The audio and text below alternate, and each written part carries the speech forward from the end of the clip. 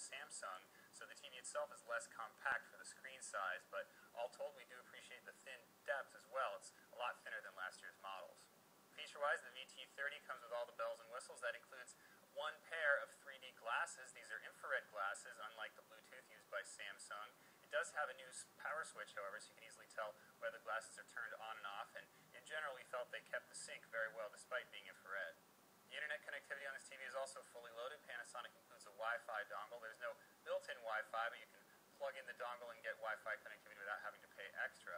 The VIERA Connect suite is the same as featured on lower-end televisions. Panasonic includes Netflix and Amazon Video on Demand, although it doesn't have YouTube or Hulu Plus yet. We do really like the layout of Panasonic's service. All the things are easy to reach, and you can arrange the thumbnails as you like. There's also a VIERA Connect marketplace that includes a few apps and a couple of $5 games from Gameloft, well as some merchandise like 3D glasses and uh, USB keyboards and mice. Of course, prices on that marketplace are pretty high at the moment.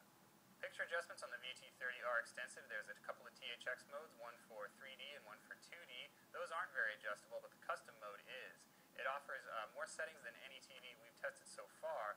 Unfortunately, despite all those settings in custom, we weren't able to achieve as accurate as a, of a calibration as we hoped, but THX itself is pretty darn accurate to begin with, so we didn't miss them too much. As mentioned at the top, the VT30 has the best picture quality of any TV we've tested this year.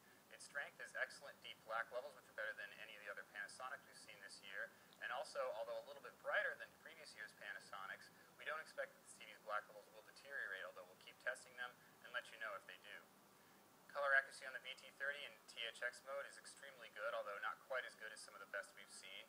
This TV also has the ability to handle 1080p 24 sources correctly,